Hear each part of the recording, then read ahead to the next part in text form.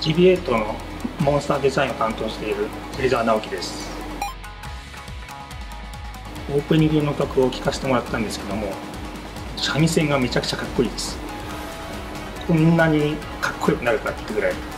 えー、作品を盛り上げてくれると思います。これはなんか世界にもなんか通用する曲かなみたいなこんな感じです。世界の人たちにもこの GBA の世界をこの音楽とともに、えー、イメージしてもらえるんじゃないかなと。思ってます自分はその担当してるモンスターの中ではそうですね最近書いた中ボスキャラですかね。まあ名前を伏せた方がいいのか分かんないですけど。でかなり書き込んで、えー、時間かかりました。これがどう動くのかちょっと楽しみです。今からでこれでさらに BGM が乗ったらもっとなんか迫力が増すのかなみたいな重厚感みたいなそんなのも期待しています。今回いろんなアーティストの方が参加してるんですけどもこの最後の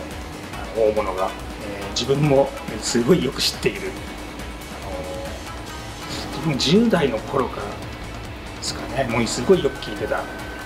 曲もあのいくつか知ってるんですけどもその方と、えー、一緒の作品に関われると、えー、自分でもびっくりしてます。まだ聴いてないんで、えー、今から楽しみにしてます。来週の動画コメント作中の BGM を担当してくださっている小城さんです。楽しみに待っててください。